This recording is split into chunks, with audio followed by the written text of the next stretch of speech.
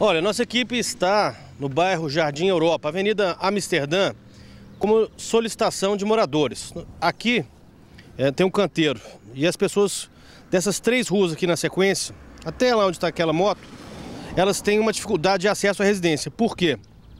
Não há o retorno. Então, quem mora por aqui precisa pegar, converter à esquerda, ela precisa ir lá na frente, aproximadamente aí uns 500 a 600, até um quilômetro de distância, para fazer o retorno. E segundo moradores aqui, inclusive o senhor Edson está aqui com a gente, muita gente vem e acaba entrando na contramão, que pode complicar e facilmente resolvido, né, senhor Edson? Porque é só um retorninho aqui na Amsterdã, não é isso? Sim, sim, seria muito ótimo, facilitaria bastante o acesso para quem mora nessas três primeiras ruas aqui. A gente já até falou com alguns vereadores da cidade e solicitou, mas até agora a gente não teve nenhum retorno. E na verdade a gente precisa do retorno na rua, né?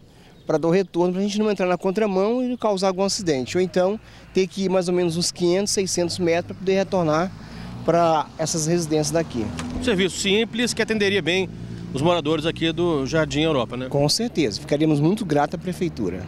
Agora, Edson, você me dizia, né, e, e acabou de confirmar aqui, que tem gente que acaba entrando na contramão para não ter que ir lá na frente, é isso mesmo? Sim, contramão ou tem que dar o retorno atrás, atrás do outro quarteirão aqui que acaba ficando dificu, dificu, é, dificulta né, o nosso acesso aqui.